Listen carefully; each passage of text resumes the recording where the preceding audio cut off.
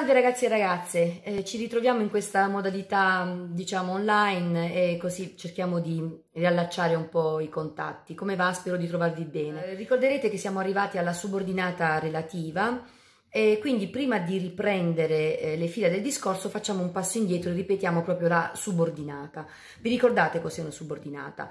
È una frase naturalmente secondaria che non è indipendente, infatti dipende sia logicamente sia grammaticalmente da un'altra frase o proposizione e quale può essere quest'altra frase? Può essere l'autonoma indipendente, la principale, quella che può stare da sola, come diciamo, oppure a sua volta può essere un'altra subordinata o una coordinata, che in questo caso funge da reggente della subordinata. Mm? Quindi la subordinata è una proposizione secondaria, da sola non può stare.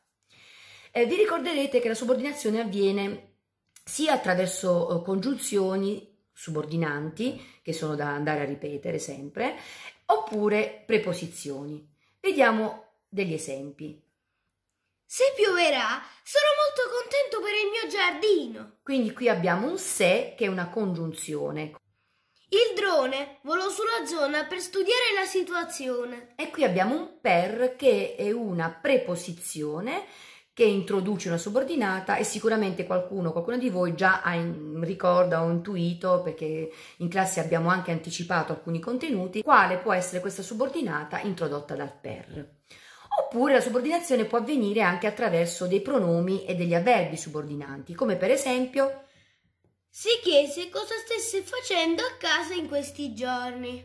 Oppure Sto così bene in casa da voler leggere molti libri. Eh, e mi auguro che sia così. Rimaniamo a casa, leggiamo, eh, approfondiamo, mm, magari andiamo a prendere quel libro che avevamo comprato e non abbiamo ancora letto. Mi raccomando, leggiamo in questi giorni. Bene, la subordinazione può essere espressa in due modi, ricorderete. Um, può essere nella forma esplicita oppure nella forma implicita. La forma esplicita vede il verbo a un modo finito. E quindi quali sono i modi finiti? L'indicativo, il congiuntivo oppure il condizionale. Sentiamo gli esempi. So che hanno ragione. Quindi hanno indicativo. Se rimanessi a casa tua staresti meglio. Eh, soprattutto in questi giorni, no? Rimaniamo a casa. Rimanessi congiuntivo. Speravamo che sareste venuti. Eh, eh, ma non si può, sempre la stessa cosa dobbiamo dire. Ognuno sta a casa sua, quindi non si va da nessuna parte.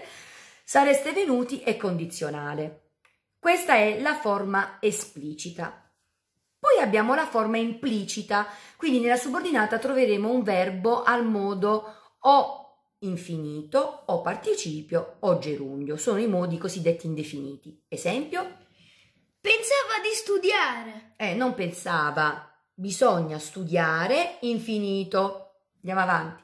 Giunto al sicuro, avvisò la famiglia. È giunto, come fatto, detto, participio. Prosegui facendo tante attività creative. Eh, quindi prosegui nelle tue attività facendo, questo è un gerundio, quindi diamo sfoggio e spazio alla creatività in questi giorni. Allora, quindi la subordinata può essere sia esplicita sia implicita. Esplicita se abbiamo modi finiti, implicita se abbiamo modi infiniti o indefiniti, meglio. Veniamo ora, dopo aver ripetuto la subordinata, alla subordinata relativa, che è l'ultimo argomento. Allora, la subordinata relativa è quella Uh, frase o proposizione che è introdotta quindi da un pronome relativo il quale, la quale, i quali, cui, chiunque, oppure da un avverbio relativo. Vi ricordate quel dove che io vi dico di non usare perché non è mm, propriamente corretto e sarebbe meglio dire in cui, nel quale. Comunque, ci sono gli avverbi relativi come dove, donde, dovunque. Allora, facciamo degli esempi in cui c'è eh, una subordinata relativa. Il panorama è quella cosa che vedi quando esci sul balcone. E infatti quello possiamo fare adesso. Usciamo sul balcone, vediamo il panorama e quindi riprendendo la frase, il panorama è quella cosa che è, cioè quella cosa la quale vedi quando esci sul balcone rimanendo tranquillamente a casa. Secondo esempio. Mi trovo chiusa nella casa in cui abito da 20 anni.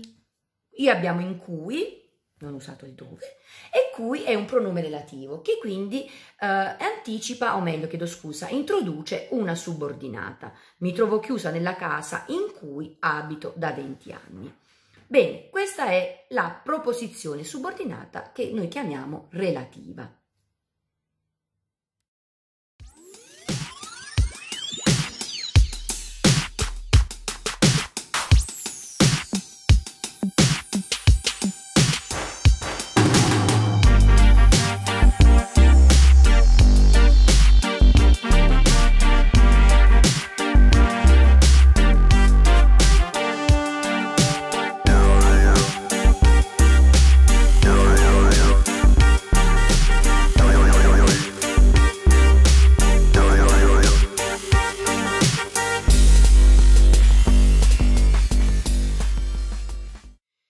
Bene, ehm, vorrei cogliere l'occasione per ripetere le funzioni del che. Eh, l'abbiamo fatto diverse volte in classe, però vediamo di mettere a fuoco maggiormente, visto che stiamo parlando insomma anche della subordinata relativa dove un che ha il suo perché. Allora, ricorderete che che ha diverse funzioni. Può essere pronome, aggettivo, congiunzione anche un che perché che rientra nelle congiunzioni, però si scrive in maniera particolare, lo vedremo alla fine. Il che pronome relativo, ne abbiamo parlato finora parlando della subordinata eh, relativa, è quel che che si può sostituire con il quale, la quale, i quali e le quali. Il pronome indefinito invece indica qualcosa di indeterminato e può essere usato in frasi come un non so che, ha un non so che negli occhi da far sperare bene, oppure c'è un che di buono in questa situazione. Eh? Dobbiamo essere capaci di trovare il buono in tutte le situazioni, forza, ce la dobbiamo fare. E quindi questo è il che pronome indefinito. Poi arriviamo al che che troviamo all'inizio di esclamazioni o di domande. Bene, se questo che sta a fianco a un nome è un che aggettivo, se sta da solo è un che pronome. Vale la stessa regola no? per gli aggettivi e per i pronomi. Noi sappiamo che sono aggettivi quelli che si accompagnano o accompagnano meglio un nome, il pronome sta al posto del nome.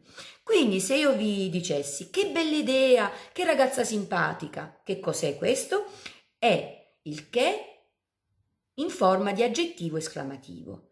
Se invece vi dico che film hai visto? Che lavoro fai?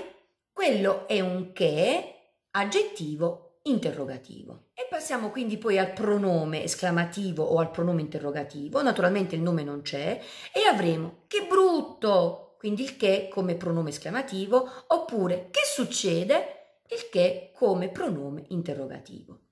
E quindi arriviamo al che congiunzione, quello che non si può sostituire con il quale o la quale, che magari introduce una soggettiva oppure un'oggettiva. Ricorderete gli esempi. Pare che sia tutto ok.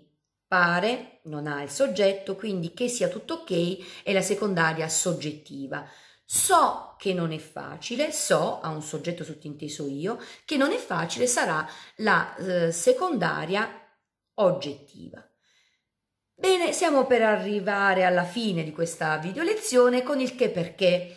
Vi ricorderete perché è sempre una congiunzione, congiunzione causale, ma nel parlato noi usiamo il che eh, al posto del perché ed è l'unico che si scrive con la E accentata alla fine, è un accento acuto per l'esattezza.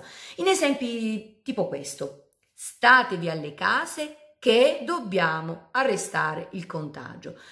Quindi statevi a casa, lo diciamo in italiano, perché dobbiamo arrestare il contagio. Quindi con questo consiglio eh, finisco qui la video lezione, ma voglio ricordare una frase che fa il caso nostro eh, di Albert Einstein.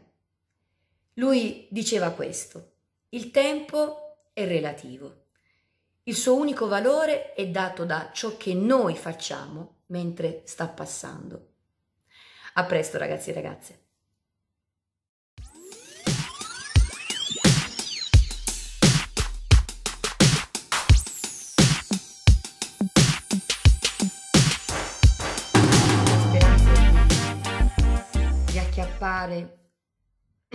ti vuoi acchiappare eh, vi ricorderete che ci siamo fermati alla subordinata relativa non mi piace.